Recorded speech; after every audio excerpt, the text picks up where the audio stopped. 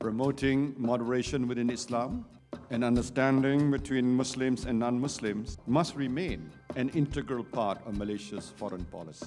And it is a key global challenge where I believe Malaysia can make a positive difference.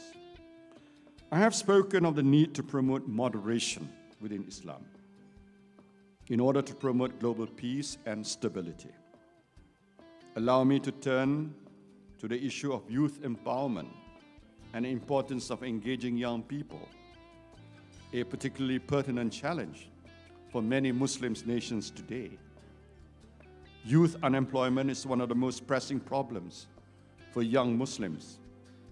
As responsible leaders, our response must not be to try and control the internet or ban new communication tools, which are inherently valuable to a modern economy. Instead, we must ensure that young people are given a stake in our society. We must create political and economic systems in which young people can achieve their aspiration. The young people who dare to dream and their dreams can be fulfilled.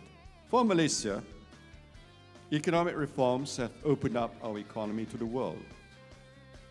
We have moved from being a largely agrarian society to a modern industrial powerhouse with a thriving high-tech sector. Incomes have risen fast, while unemployment remains low and educational attainment high. As our country become richer, it has also become more politically mature. Political reforms have kept up with economic progress, and so young people have a stake in society and a hope for the future. We have not suffered the upheaval of a Malaysian spring because our economy is vibrant enough to accommodate young people's aspirations, and our politics is mature enough to accommodate change and continuity.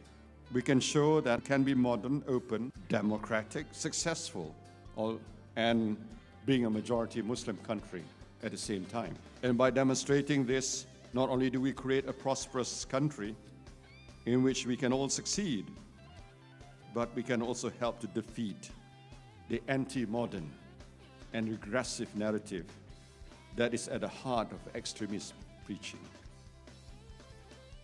Allow me to finish by talking about an aspect of empowerment, which I also believe is integral to creating a prosperous and equitable global economy. Just as Malaysia uses its global influence to promote wasatia, I believe we should also strive to set a good example in regards to female empowerment. According to the World Bank, of the bottom 20 nations for female labor participation, 19 are majority Muslim countries.